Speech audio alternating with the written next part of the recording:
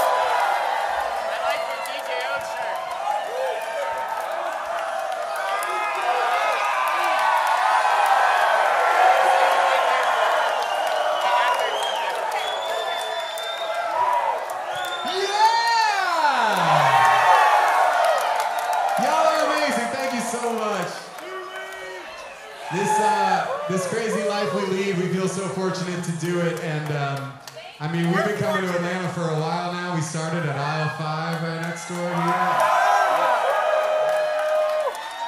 Smith's Olde Bar. Smith's Olde Bar was that first?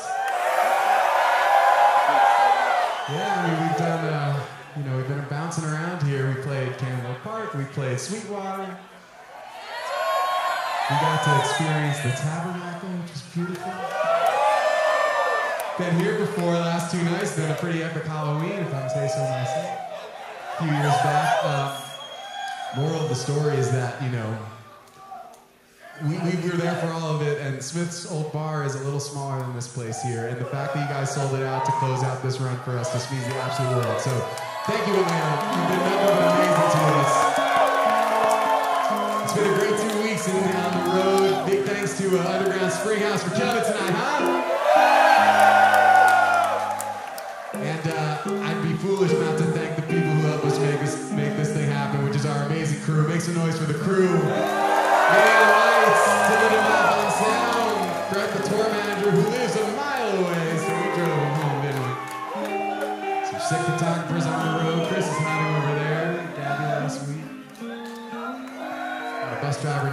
Bob to.